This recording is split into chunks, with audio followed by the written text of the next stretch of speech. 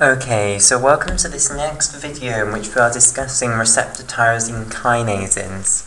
Okay, uh, so we are in the process of discussing the pathways downstream of an activated receptor tyrosine kinase, and we're in the process of looking at the MAP kinase ERK pathway.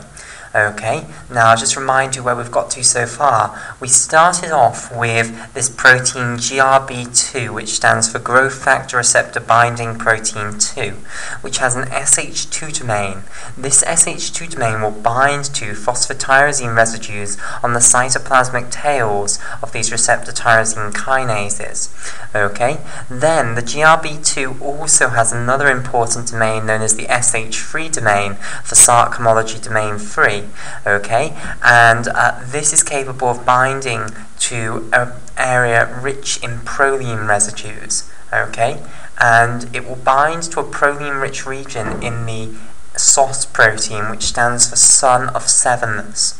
Okay, so uh, what then will happen is this SOS protein will become activated and it will act as a RAS-GEF. Okay, so it's going to activate RAS monomeric G proteins by catalyzing the exchange of guanosine diphosphate for guanosine triphosphate that is bound to these RAS proteins.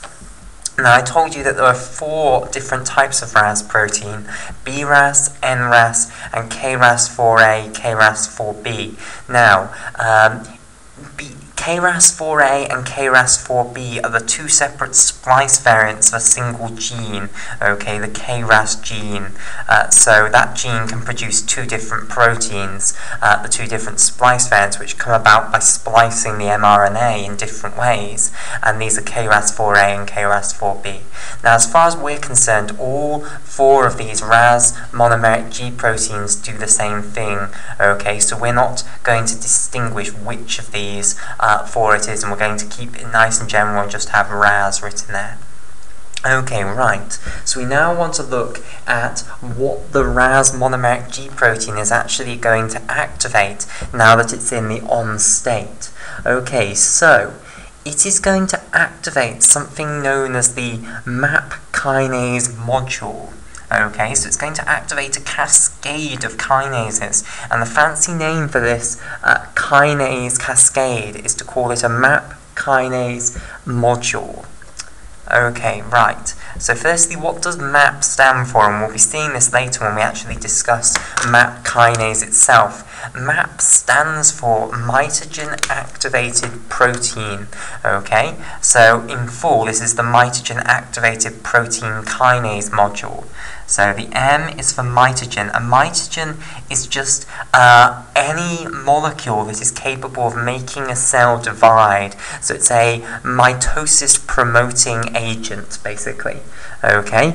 Uh, then uh, the A is activated or associated, whichever you prefer. Mitogen associated or mitogen activated. Again, we'll have a little dash there. And then the P is for protein. So MAP stands for mitogen activated protein and we're going to see the enzyme, the key enzyme within this MAP kinase module is going to be the MAP kinase enzyme itself, which we'll come to later.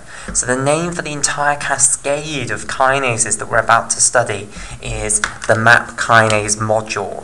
Okay, so this is the name for the entire cascade from now on. Okay, so what then is the first enzyme in the MAP kinase module? Well, the first enzyme is going to be an enzyme known as RAF. Okay, so I'll put this here. Now, there are different types of RAF enzymes, just like there are different types of RAS proteins. Okay, and I'll tell you about the different types uh, in a moment. So, we'll colour in our RAF enzyme in green here. Okay, and it's going to be, once activated, a serine threonine kinase which I'll explain in a moment. Okay, so let's start with the different forms of RAF, RAF enzymes. Okay, so there are three different forms of RAF enzymes. There is something known as ARAF, okay, there is then also BRAF, and finally there is CRAF as well. Okay, now CRAF has another name.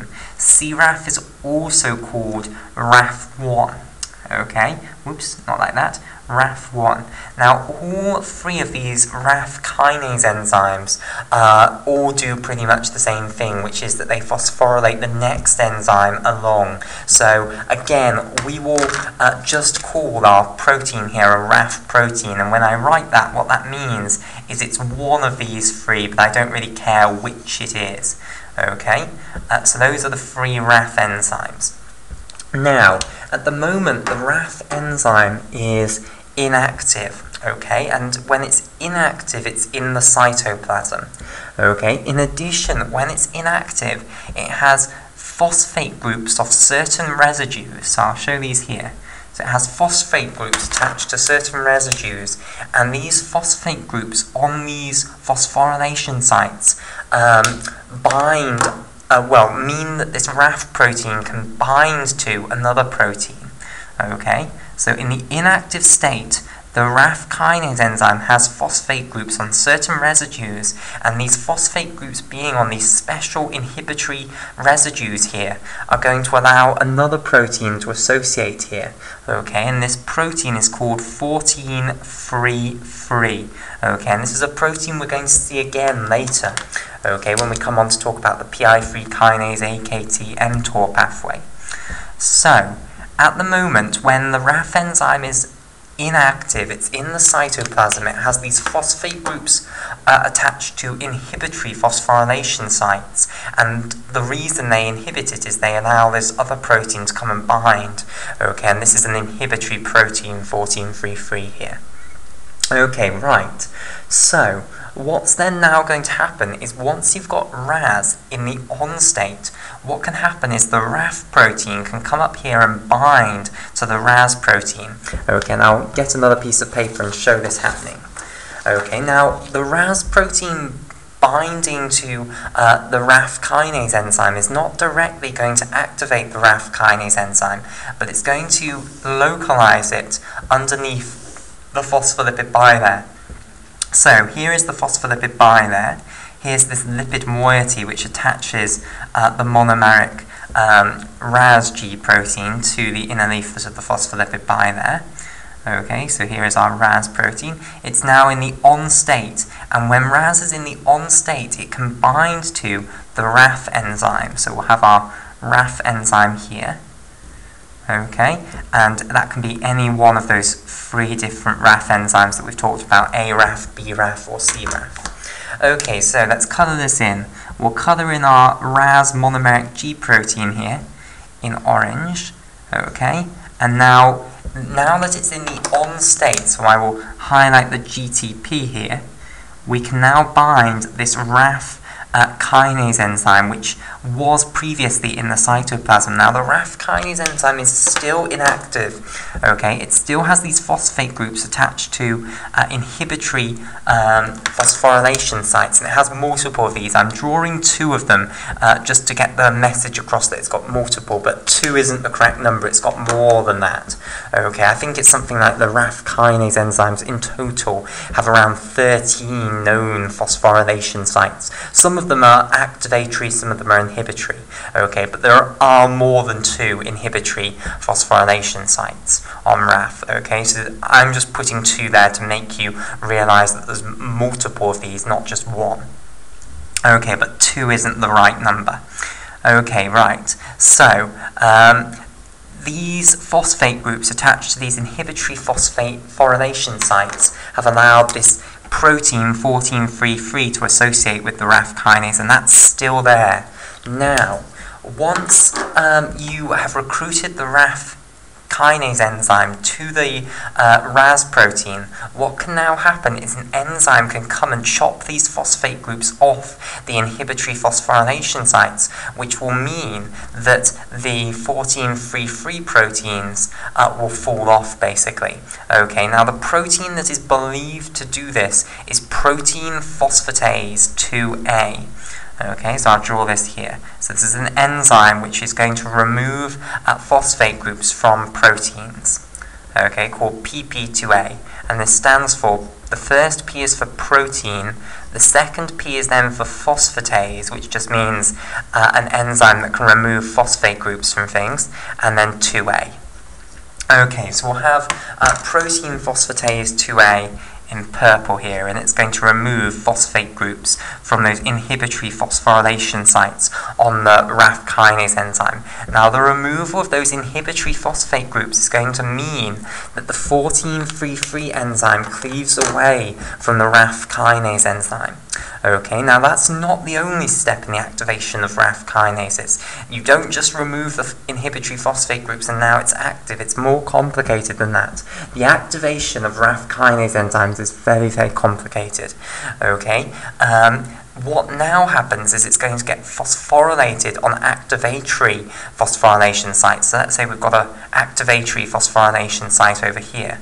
Okay, so let's have one of these. And this is going to be uh, on tyrosine residues specifically. We're going to phosphorylate tyrosine residues. Okay, and again, there's multiple of these, but I'll just show one of them. Okay, right.